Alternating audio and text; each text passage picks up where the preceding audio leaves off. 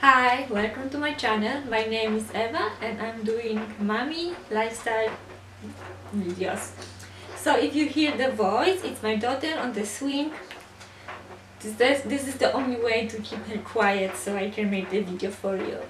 So I wanted to talk about uh, my breastfeeding journey, how it was, how it is, and how it's going to be.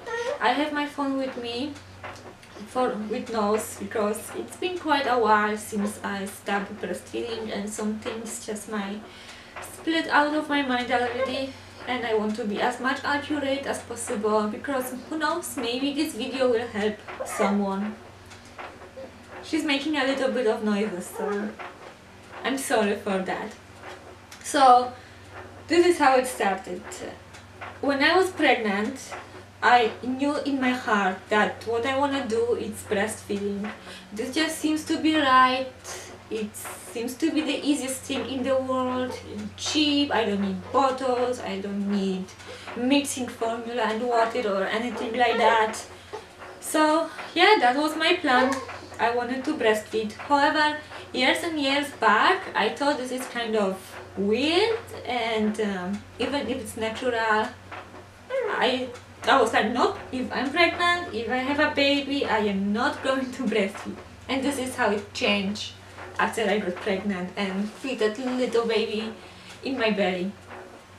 So, yeah, that was before I gave birth to my daughter Alyssa. As soon as I gave birth to her, they put her on my chest, but unfortunately she didn't cry the way they wanted her to do so they took her away from me like immediately. And uh, we didn't breastfeed until she came back to me to to the room when we went staying. Uh, yeah so breastfeeding at the very beginning wasn't pleasant. I was a little bit surprised of not only the technical part but also it didn't come as easy as I thought it would. The technical part was just horrible. Like I needed nurses like every five minutes with every single feeding because I didn't know how to put her on the breast, like she was crying, she couldn't latch, she was doing that uh, motion when she was looking for my nipple and she couldn't find it. So that didn't go well and that was the whole time at the hospital the nurses even were like, oh, we won't let you go home unless you have like a good latch. And I did get like few good latches, so they let us go. We stayed there for 48 hours. We went home and then the hell started. It was crazy, like I knew in my gut that my baby is hungry and that my baby doesn't get enough food but everybody like shush me no like that's not possible. Her stomach is so little. She just needs a few few drops of colostrum and that's it. On day three when we went home. My milk still didn't come in. And we were nursing every two to three hours like we supposed to day and night. And she was on my breast for 40 minutes. I remember that 40 minutes and then she fall asleep. Then she woke up and cry like oh her cry was so hard. And I had no idea why is that like why is the baby crying all the time? Like I didn't think so that newborn supposed to cry so much. I even told to my husband like maybe go to store and buy some formula because I feel that she doesn't eat enough.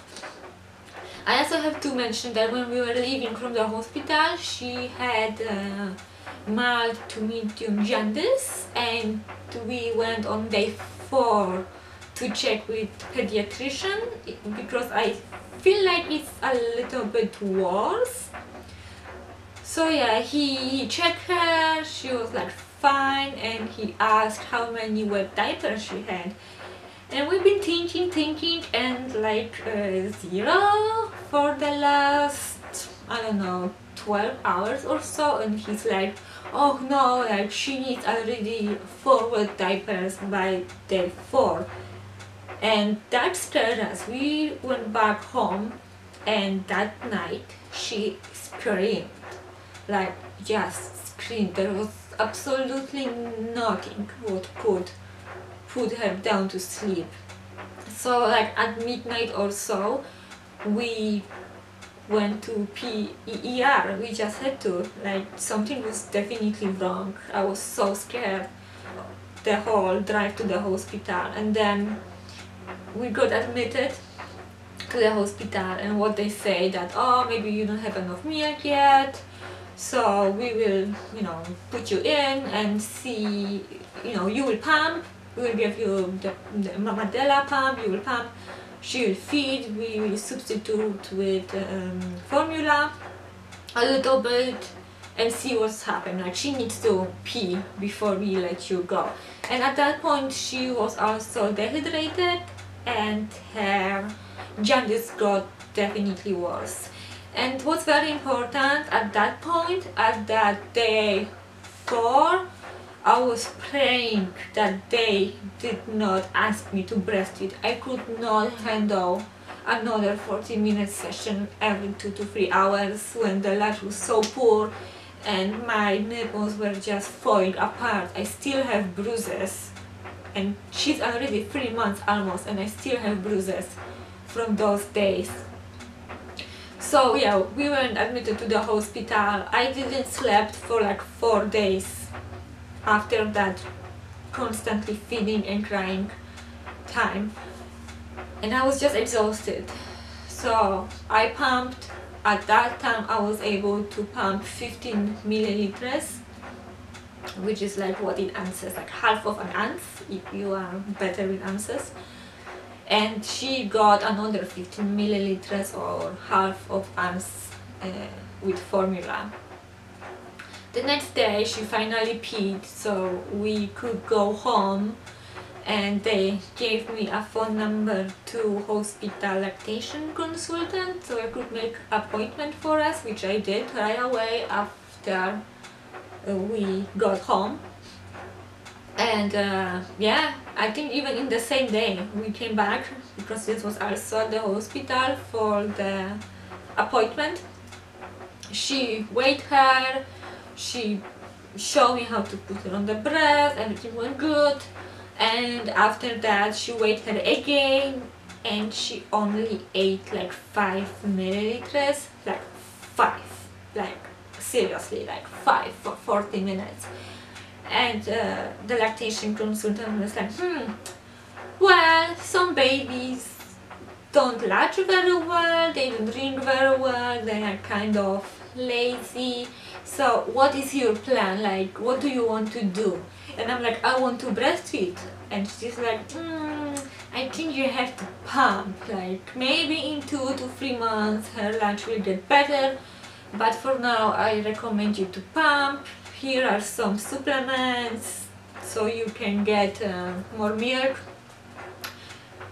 And yeah, we were sent home. This was devastating. Like I'm telling you, this was devastating. I can't believe it she also checked her, you know, her anatomy. She said everything is fine. Gave me a bunch of, you know, papers like, oh, you have to do this, you have to do that to increase your milk supply. And yeah, we went home. So I was pumping uh, for another two weeks. And whoever pumped, it knows how exhausting it is. Oh, and plus I was still trying to put her on the breast from time to time. But obviously it wasn't great sessions. So yeah, at that time pumping 24 hours, 7, you know, times a week. It was uh-uh, crazy. I wanted to give I was like, uh-uh, I'm going into a formula. But on week almost free.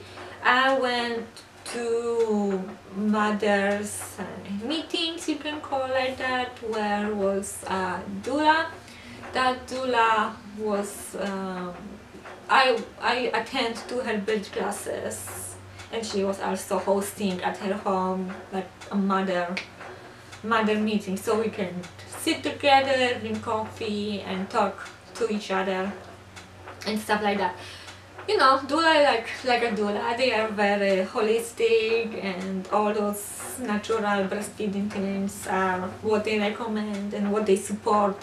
so she insists to see how I'm breastfeeding.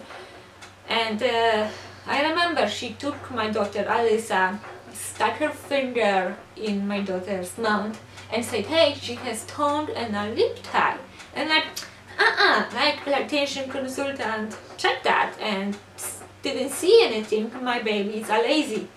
And she made like a face like lazy. I'm like okay. So the day the day after I took my daughter to pediatrician and uh, got referred to the dentist to, to get the tongue tie removed. And at that point I have to mention that so many people look after in the, in the hospital or the pediatrician himself and nobody seen that she had a freaking tongue tie. Like you just stuck your finger to your baby's mouth and you will feel it. Like you will feel it. There is no mistake. And lactation consultant didn't see it. Like like what what is she doing like why is she even in this industry if she can't do her job so anyway we got appointment at the dentist yes she did have a tongue tie no a lip tie but tongue tie she got that clipped and uh, we could practice on breastfeeding again. But as you know, baby once in introduced to the bottle at that age, doesn't take very well to breastfeed, right? So yeah, we practice breastfeeding as often as possible. I was still pumping. My milk supply was great. But, you know, one day she, my daughter, decided that she's done with breastfeeding and I feel like there's not much I could do. Sometimes I feel like I should try more. Like I gave up too early, but it was so frustrated for me when she refused me, basically. Sometimes she latched and enjoyed that time together and sometimes she was like just give me the bottle like let's keep that breastfeeding stuff and just give me the bottle. And I was impatient enough. I still had to pump day and night at that time establish my milk supply. I was still taking my supplements. And yeah, that is my journey from breastfeeding to bottle feeding. I am still pumping and giving her my breast milk from the bottle. She's almost three months old. Why I'm still doing this? I think because I don't uh, pump at night anymore so that's a huge relief I pump at 6 a.m. in the morning I pump at 10 a.m. 2 a.m.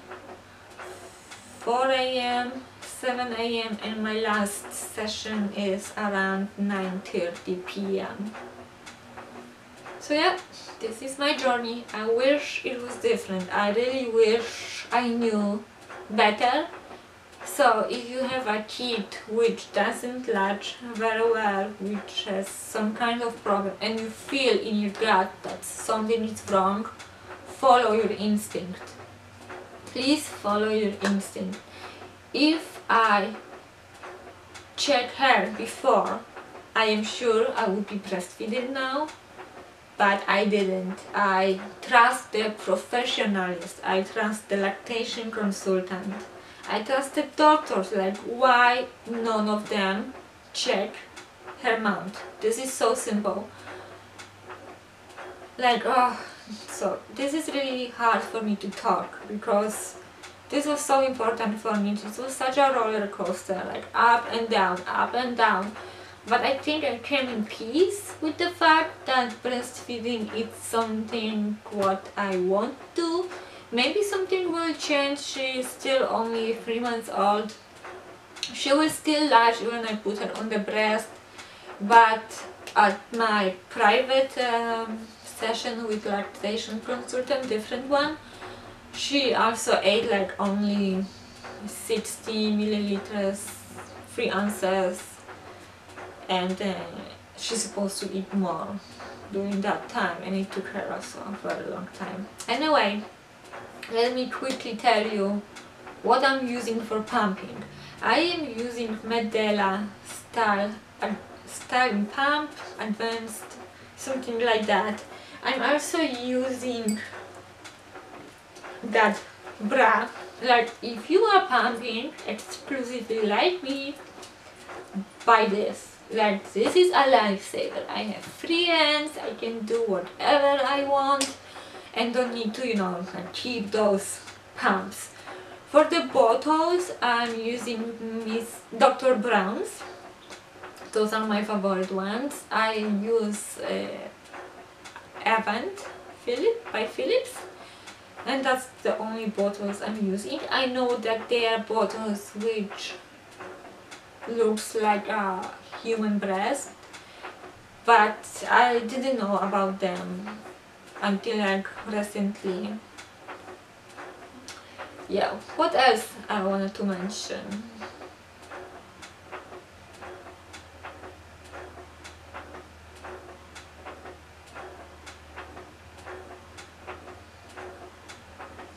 Yeah I think that's it.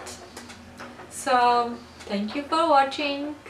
This was very important video for me. I wanted to film it for a very long time and uh, I hope you enjoyed see you next week Bye.